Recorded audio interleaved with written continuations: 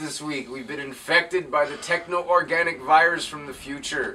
We're waiting for Cable to come with a cure, but The future sucks. it does. Apocalypse rules. Mutants are gone.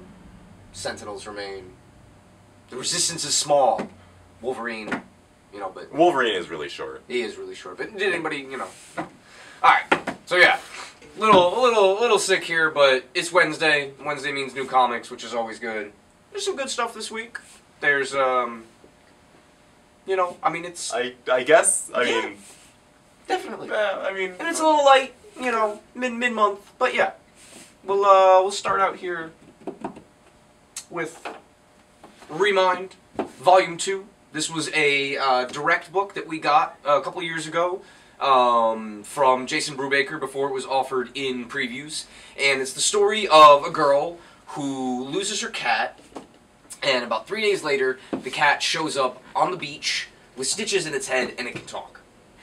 Now that's pretty weird. You know, normally you miss your cat. I mean, it's like abducted by some strange neighbor who's like, you know, enticed it with some food and some tuna, and you're like, hey, what the hell? Why are you why are you stealing my cat? And then some like old lady, and you got to call the cops, and you know, it's weird. But this is even weirder. And um, there's a uh, basically they try to find out where the hell the cat went, and it leads them to this grand uh, kingdom under the sea oh, with weird magical creatures and all sorts of stuff. Um, so this is volume two, and uh, it's very much kind of like Amulet, um, Kazu Kibuishi stuff. It's got a bone quality to it. Um, it's really you know nice. It's good for all ages, and it's got a cute cat.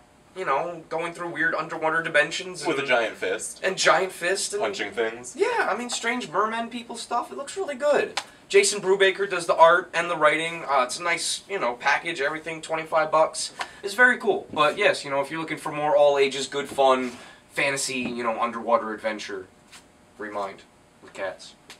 Remind yourself to buy Remind. Remind yourself, yes. And out of Marvelous week, we've got the one-shot Avengers: The Enemy Within number one, kicking off the you guessed it, the Enemy Within crossover between Kelly Sue DeConnick's Avengers Assemble and Captain Marvel. You know, Captain Well, Marvel's does here. both There's those, Avengers around. Yeah, Yeah, that's the thing. that's fine. Yeah, clever, right? Uh, it's got really, really awesome art by Scott Hepburn, who was working on Tom Morello's Orchid, Yep. and I believe still is. That comic's still no, that's running, finished. right? Really? Finished. When Yeah, did that happen? Twelve. Uh, a couple months ago. I didn't notice. Yeah, I don't know. But this stuff looks even better. Yes. Really good. And Jordie Bellaire colors it masterfully. All, always, always. Nice Joe Quinones cover. I want He to see more interior from him soon. I'm hoping. Hopefully. I mean, if Mike Allred ever needs to take another break from FF. Yeah, because that was really good. That was really good. Um, well, speaking of FF And Mike Allred. and Mike Allred, he's back with Laura Allred.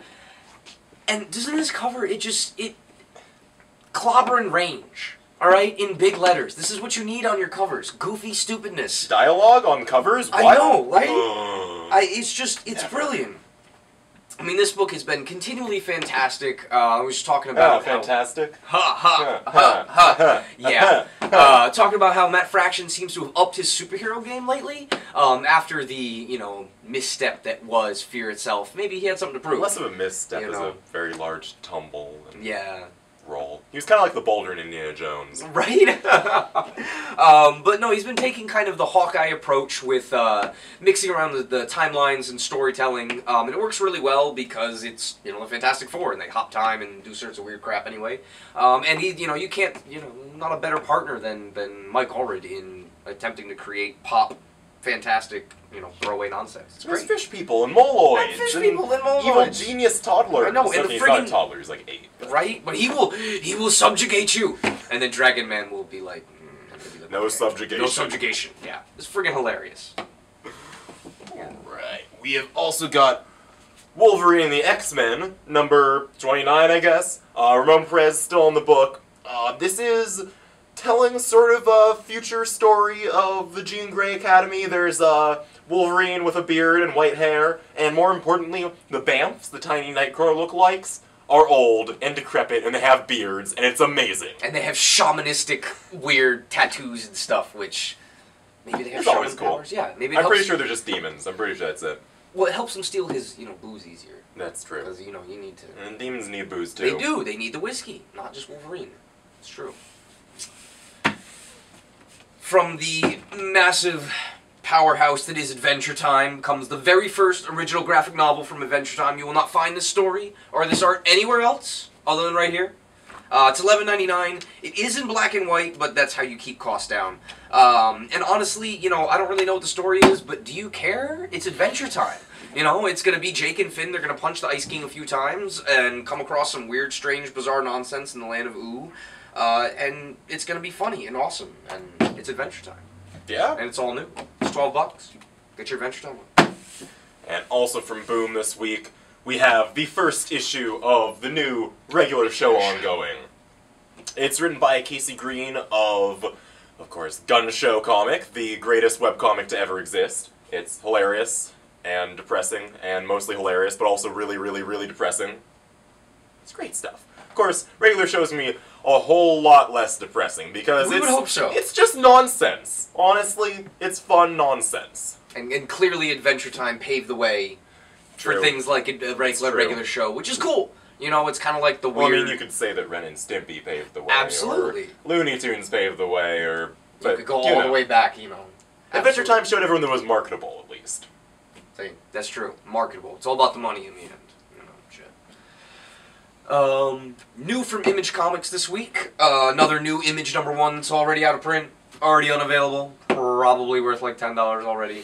You know. Uh, quick aside: I was looking through the Bleeding Cool magazine that came out this week. Why would you do that to yourself? Be- I need to lose some brain cells. And so Rich Johnston had the balls to put a price guide in the back of recent comics, and he's li- listing like Nowhere Men number one at like 40 bucks or some nonsense like that. And It's Wizard Magazine all it is, over it again. is Wizard Magazine, but buy comics because you like them.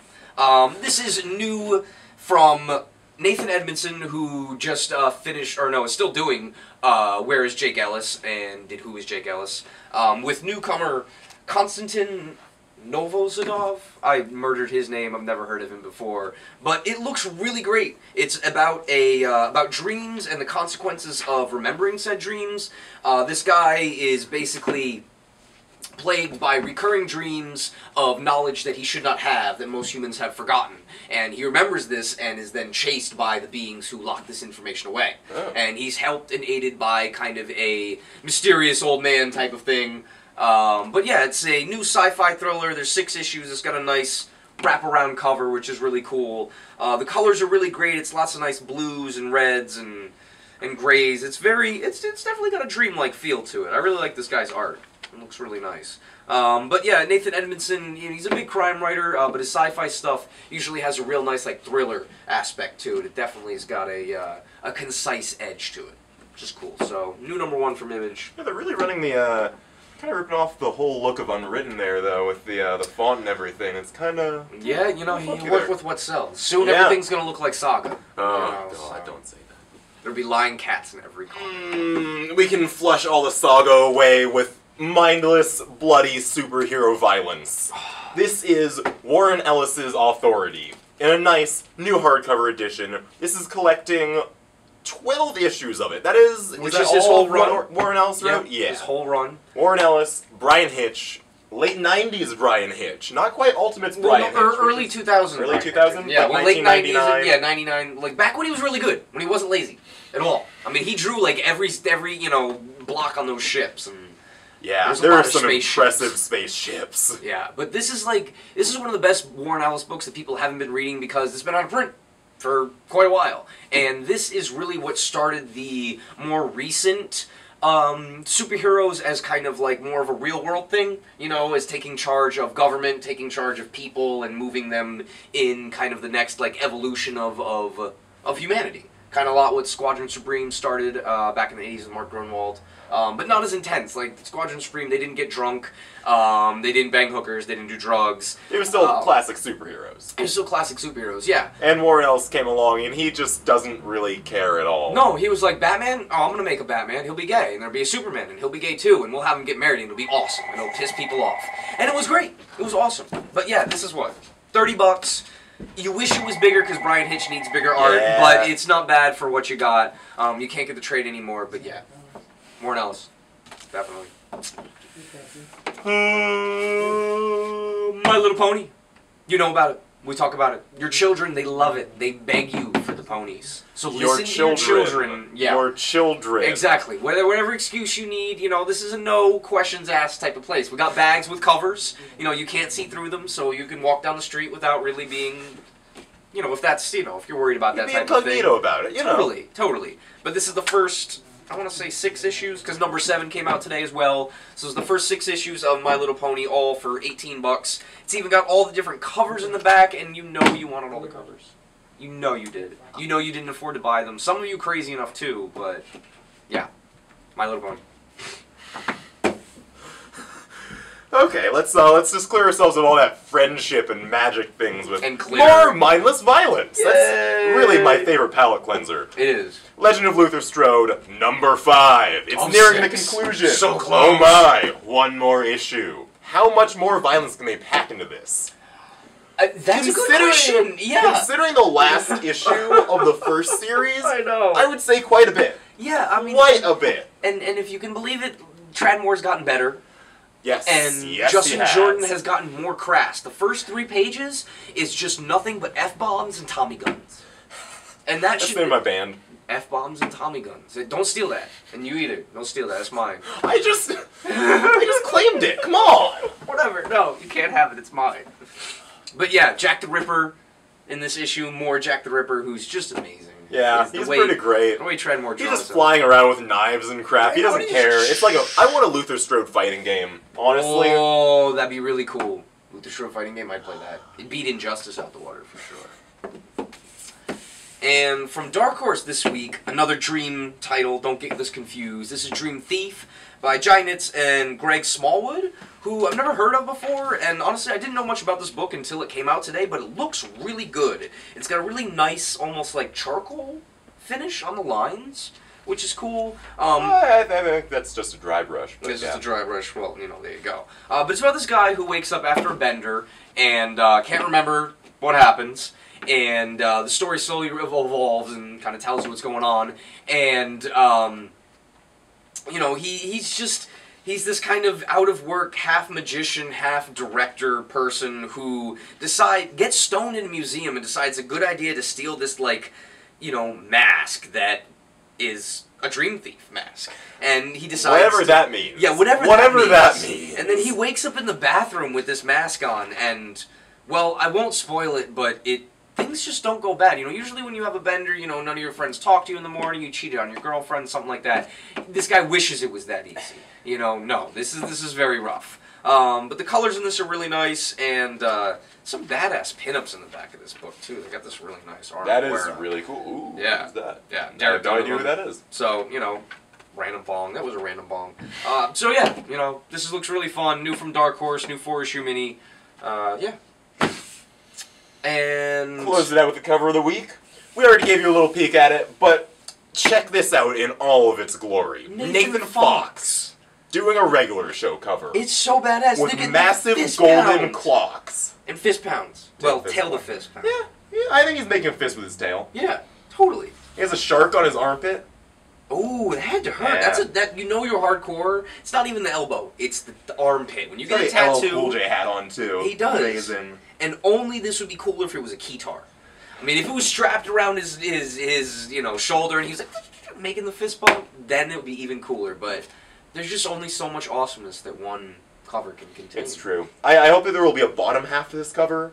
Maybe that would Now be he, wonderful. Nathan Fox didn't get paid enough for that. He only got paid for half a cover. That dude, he, you know, it's a lot of money.